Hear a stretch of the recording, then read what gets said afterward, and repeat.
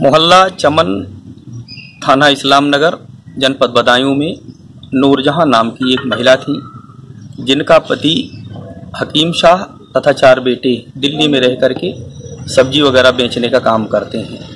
उनकी बेटी सोनम का एक व्यक्ति से परिचय हो गया और जिसको लेकर के इनकी माँ ने उससे शादी कर दी।